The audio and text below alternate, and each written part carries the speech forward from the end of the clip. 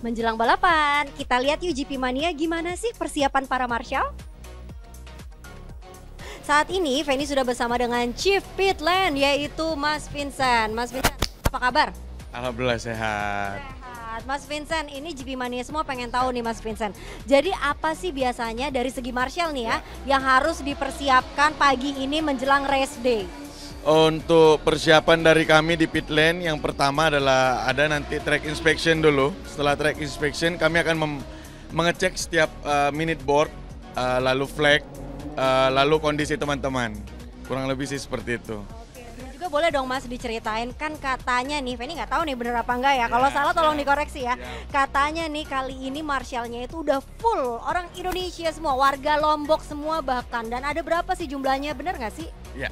Uh, yang pertama benar kita su- uh, kita Marshall Mandalika sudah pegang balap ini sendiri tanpa ada bantuan dari kayak waktu itu ada Sepang dan lain-lain.